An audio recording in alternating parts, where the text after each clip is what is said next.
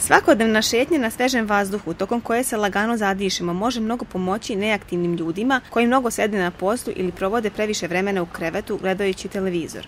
Vreme ne treba da bude prepreka. Šetnja zimi po hladnom vremenu ili snijegu može biti lepa i doprinijeti dobrom raspoloženju. Bitno je da imamo dobro društvo, dogovoreno vreme, pa ćemo tako biti sigurni da šetnja neće izostati. Pitali smo sugrađani da li se oni bave ovim vidom rekreacije.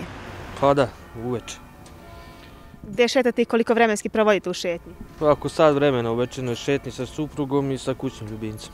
Šetam u Mitrovici, Lačarku, ne znam, izađem sa decom pa prošetamo malo više. Sad manje, ali inače sam bio aktivni igrač futbol. Gdje šetate i koliko dugo? Pa i na poslu, pa onda recimo kad imam trgovinu, tako jedno dva kilometra najmanje dnevno. Šetnja pomaže kod smanjenja prekomerne težine, smanjuje potrebu za slatkišima, ublažava reumatske bolove, bolove u kolenima i jača naš imunni sistem. Šetnja je korisna u svakom slučaju zbog zdravlja, prvenstveno, a u ostalom svaki vid fizičke aktivnosti poboljšava i zdravlje ljudi, što psihičko, što fizičko. Lekari sami preporučuju 8 km dnevno, da kažem lagane šetnje. Idealno vreme uopšte i za trening, i za šetnju, i za sve jeste u jutarnjim časovima. Ukoliko to ne možeš, u svakom slučaju bolja šetnja u bilo koje doba dana, šetnja se preporučuje svima.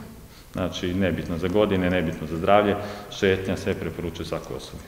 Traženjem optimalnih uslova zapravo tražite izgovor da ne krenete u šetnju. Danas je odličan dan da počnete da primjenjujete ovaj savršen lek.